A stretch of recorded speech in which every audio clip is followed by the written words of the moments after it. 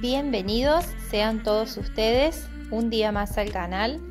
Yo soy Nina para los que no me conocen y hoy les traigo esta propuesta, un postre de chocolate que solo se hace con tres ingredientes y en apenas unos pocos minutos.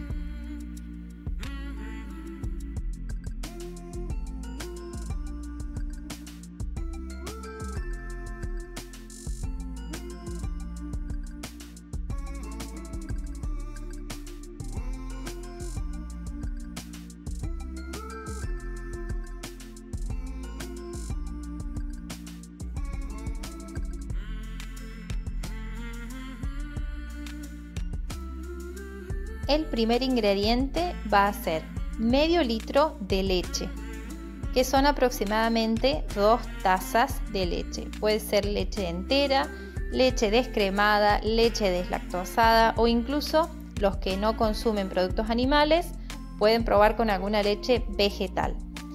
Después vamos a necesitar 40 gramos de almidón de maíz o también conocido como fécula de maíz o conocido como maicena. Y muchos me dicen, Nina, no tengo balanza. ¿Cuántas cucharadas son? Son tres cucharadas soperas bien colmadas. Y ahora lo que vamos a hacer es, con el batidor, mezclar esta parte muy bien, y esto es muy importante, para que la maicena se disuelva bien en la leche. Se van a dar cuenta que está disuelta cuando ya no tenga grumitos o pelotitas de maicena. Y ahora vamos a agregar el tercer y último ingrediente que es el chocolate. Y vamos a utilizar 300 gramos de chocolate con leche.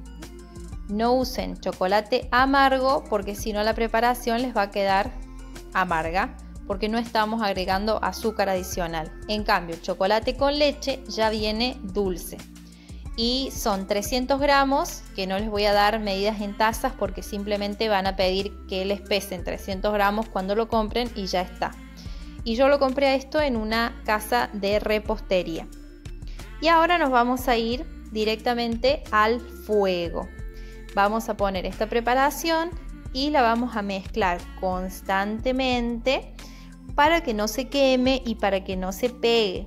Lo primero que va a pasar es que se va a calentar la leche, y ese calor va a disolver el chocolate y luego al eh, romper el hervor se va a espesar gracias a la maicena. Les digo que este, este proceso, estos pasos no demoran casi nada porque solamente es medio litro de leche, por ende bien rapidito ya este postre va a estar listo. Así es que tengan en cuenta de mezclar continuamente.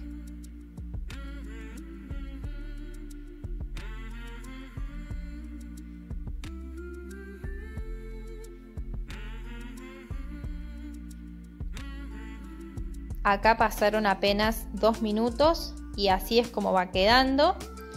Y eh, una vez que eh, rompa el hervor, o sea que salgan burbujas bien grandes, lo vamos a dejar que se cocine durante uno o dos minutos más y van a ver cómo espesa. Acá les muestro cómo quedó, esto ya está listo. Tiene una consistencia como de los postrecitos de caja que se hacen al fuego con leche muy parecida a la consistencia. Así es como queda y nos vamos a ponerlo en los moldes. Yo voy a usar estos moldes que son eh, descartables y que vienen con tapita. Eh, ¿Por qué se los muestro así? Porque quizás muchos de ustedes están buscando opciones para vender y esta es una muy buena opción si ustedes tienen eh, un, un kiosco o no sé, una, roticería y quieren agregar postres, esta es una muy buena idea, una muy buena opción. Pero por supuesto que pueden usar eh, vasitos si lo van a comer en su casa o pueden hacerlo incluso en un molde, una, una pirex, en un refractario, en fin, no hay ningún problema. Y un consejo que les doy es que ni bien sale del fuego, empiecen a llenar los moldes con la preparación en caliente porque este tipo de postres tiende a formar en la parte de arriba como una pequeña capita más gruesita y más sequita que el resto de la preparación. Entonces lo ideal es rellenar los moldes ni bien sale del fuego. y lo voy a dejar sobre la mesada que eh, se baje un poco el calor, que se entibie y después lo voy a mandar a la heladera, aproximadamente dos horas, pero quizás hace falta un poquito menos. Yo lo dejé dos horas. Y ahí sí va a estar listo para servir. Y me salieron cuatro porciones. Eh, son porciones eh, bastante bien servidas, les diré porque yo soy bien golosa y pude solamente con una, porque es, es un postre demasiado sabroso, demasiado intenso de sabores, o sea, muy, muy, muy rico. Así que con una porción les diré que es más que suficiente.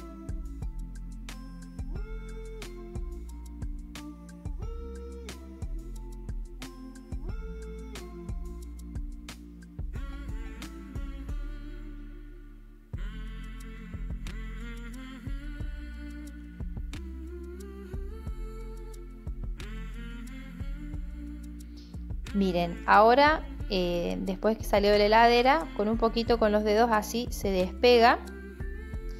Y ahora comienzo a hacerle esos movimientos al molde para que le ingrese aire entre el molde y las paredes y para que se pueda desmoldar y no da ningún ningún trabajo ni se rompe.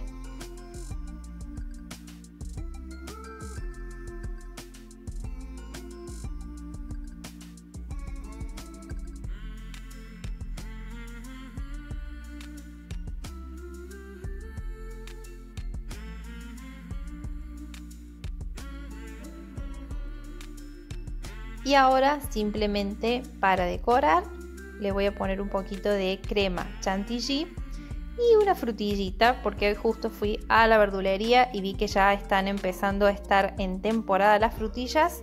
Así que dije, ¿por qué no? Pero le pueden hacer una decoración con caramelo o con nada simplemente. Y así es como quedan. La verdad, a mí me parecen súper vistosos, estéticamente me, me llaman muchísimo la atención y la comida ingresa por los ojos.